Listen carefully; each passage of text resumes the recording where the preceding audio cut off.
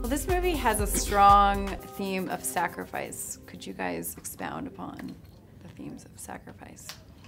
Well, it's part, it's part of living a, a really amazing life is that, and a rich life and a deep life, is that you will make sacrifice. Yeah. That's just part of it. And the thing about sacrifice is that you are better for it.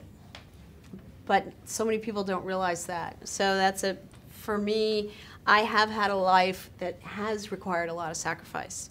Not just to survive, but you have to do the right thing. You know, if you don't do the right thing, that's going to be much harder for the rest of your life knowing that than to do the right thing. So it's it's uh, it's right in the center of the story, yeah. isn't it? It's, it's also uh, family as well. You know, it's like what would you sacrifice for your siblings? You know, you'd do anything for them. You know, and that's shown in the film. You know, the the the, the, the theme and, and the close pattern of, of love between brothers and sisters. Um, and even with, with, with, with Reese's character, Carrie, as you've seen, she has a big growth as well. You know, she, she's someone who really didn't care about anything. And then as the film develops, you see she, she becomes more maternal and starts wanting to look after these, these guys and, and, and, and help them in any way she can. And I think that's a beautiful thing.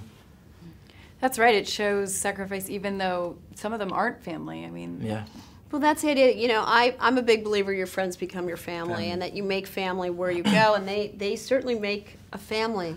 And that's, that's how the Sudanese community operates. Yeah. So I was really, I love that about them.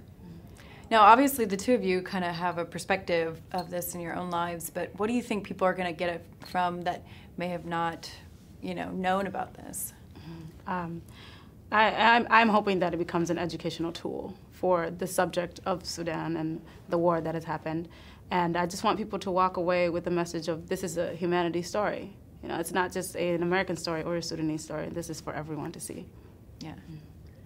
And did it, um, you know, doing it and remembering, you know, things maybe from your past or your family's past, did it, you know, how did it make you feel?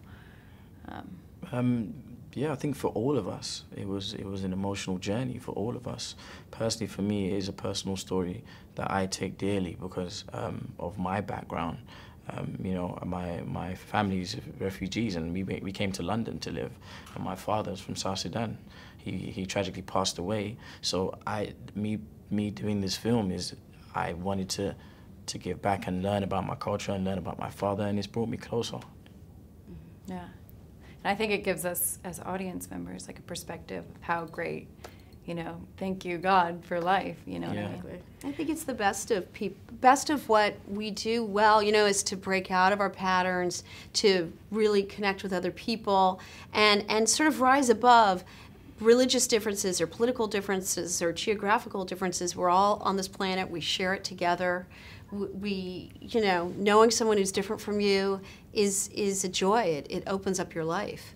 And then you discover, oh, we're actually the same. Mm-hmm. Oh, forgot about that. You know, it's good. Educates you more, really. Yeah, the more traveling you do, the more other people you meet, the more you, you're aware of their, their, their cultures. Yeah. Now, how did you find relief on set? On set. I mean, we all just automatically connected. I mean, I, I didn't feel like there was a day that I was ever bored. I even would come to set when I'm not working, just to hang out and talk and you watch. Did. You did. Yeah, you did. I did. And so yes, it, we automatically had a connection that was just beautiful. Yeah, it was a cool set. Like it was really cool because a lot of scenes were intense. And you can't be tense all the time, you know. Yeah. like, it was, you know, we had um, especially with um, with Emmanuel. Emmanuel brought a lot of joy into the set as well because he's he's it's a pity he's not here today, but he's his energy is just bar none one of the craziest I've ever met, you know. But he kept us all alive and happy on set. Like we were dancing on set. We were teaching Reese African dances, you know, wow. and she was doing it as well. So it was like it was it was it was a fun set to be part of. Thanks for watching. To find out more about entertainment news that follows your values, follow us on Twitter, subscribe to us on YouTube, and like us on Facebook, so you can know before you go.